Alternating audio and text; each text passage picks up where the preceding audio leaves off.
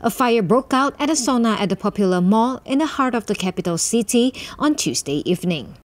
The Fire and Rescue Department said the incident occurred at about 5:20 p.m. Two fire engines and 13 firemen from the Jalan Tun Razak and Titiwangsa fire stations were dispatched and found that a sauna on the ground floor of the Suria KLCC was on fire. Firemen took about 9 minutes to put out the flames. The sauna was almost totally destroyed, but no one was injured. The cause of the fire is under investigation.